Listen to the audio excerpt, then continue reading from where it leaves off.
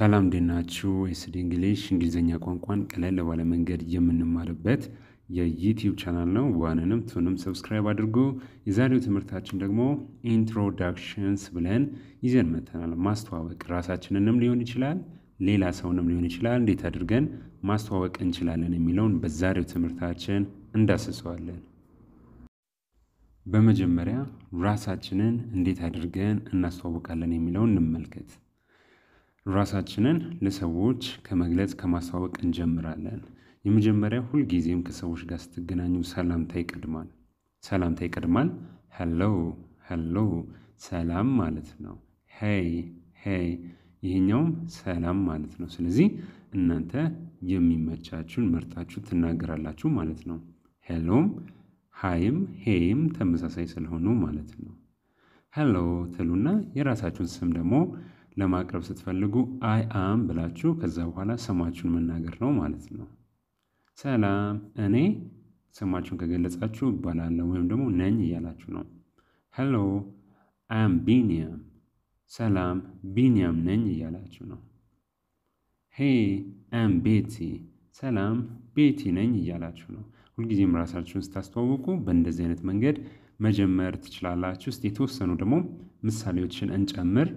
ምሳሌዎች ላይ ስማችሁንም ከመጥቀስ ባለፈ ሌሎች መገለጫዎች ካሉ ስለ ራሳችሁ የምትገልጹበት እሱን መጠቀም እንዴት አድርጋችሁ እንደምትችሉ እናያለን። እስቲ ምሳሌዎችን እንመልከት። Hi ሰላም I'm ኤልዛቤት Eric's cousin። ሰላም እኔ ኤልዛቤት ነኝ የኤሪክ የአጎት ልጅ እያለች ነው።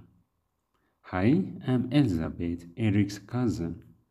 እናንተ እንደምትተዋወቁት ሰው ራሳችሁን በተለያየ አይነት መንገድ መግለጽ ትችላላችሁ። አሁን እዚህ ጋርም የተመለከትናት ኤልዛቤት የኤሪክ የአጎት ልጅ መሆኗን እየተናገረች ራሷንም እያስተዋወቀች ነው ማለት ነው። Hey ሰላም I'm ቤቲ I'm the new project manager። ሰላም እኔ ቤቲ ነኝ አዲሱ የፕሮጀክት ማናጀር ወይም አስተዳዳሪ እኔ ነኝ እያለች ነው። Hey I'm ቤቲ I'm the new project manager እኔ ቤቲ ነኝ አዲስ የፕሮጀክት አስተዳዳሪ ወይም ማናጀር እኔ ነኝ እያለች ነው።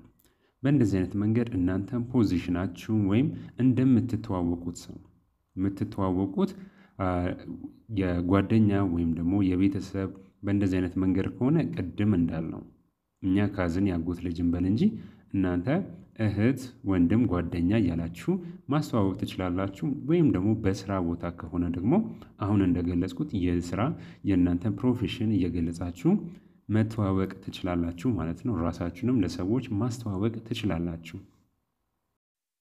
አሁን ደግሞ ሌላን ሰው ማስተዋወቅ እንዴት እንደምንችል እንመለከታለን። እናንተ ለሌላ ሰው ስታስተዋውቁ ማለት ነው አጠገባችሁ ያለውን ሰው ለሌላ ሰው እንዴት አድርጋችሁ ማስተዋወቅ እንደምትችሉ እንመለከታለን።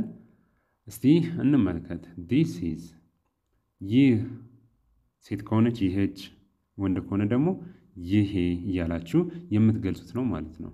ይሄ ብላችሁ እሱ ምን እንደሆነ ታስቀምጣላችሁ። ቅድም እንዴት አድርገን ራሳችንን መግለጽ እንደምንችል አይተናል። አሁን ደግሞ ሌሎች ሰዎችን ለመግለጽ This is ትሉና የሰውየውን ስም This is ቤቲ ይህች ቤቲ ነች እያልኩኝ ነው።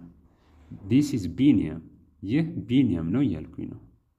እናንተስ በእንደዚህ አይነት መንገድ አጠገባችሁ ያለውን ሰው ማስተዋወቅ ትችላላችሁ። ሌላም ሰዎች የምታስተዋውቁበት መንገድ አለ። እሱኛው ደግሞ ምንድን ነው? He is ወይም ደግሞ ሴት ከሆነች She is ብላችሁ የሰውየውን ስም ማስከተል ነው ማለት ነው። ለምሳሌ He is ቢንያም እሱ ቢንያም ነው። She's ቤቲ እሷ ቤቲ ነች እያላችሁ ለሰዎች ማስተዋወቅ ትችላላችሁ ማለት ነው። እስቲ በምሳሌ እንመልከታቸው። This is Tom ይህ ቶም ነው። He's my coworker እሱ የስራ ባልደረባዬ ነው። ግልጽ ነው አደለ?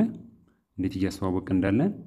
This is Tom he's my coworker ይህ ቶም ነው የስራ ባልደረባዬ እያላችሁ ነው። This is Tom he's my coworker። This is Rose this is Rose she's my coworker። ይህች ሮዝ ነች የስራ ባልደረባዬ ነች እያልኩኝ ነው። This is Rose she's my coworker። እኔ በእንደዚህ አይነት መንገድ እሷ ልግለጻት እንጂ እናንተ በቅርባችሁ ያለውን ሰው በተለያየ አይነት መንገድ የምትገልጹበት አለ። እሱን እያስከተላችሁ በእንደዚህ አይነት መንገድ ማስተዋወቅ ትችላላችሁ ማለት ነው። የሚጨመረውን ጨምራችሁ የሚቀነሰውን ቀንሳችሁ። እኔ coworker አልኩኝ። እህት ከሆነች she's my sister አይደለ?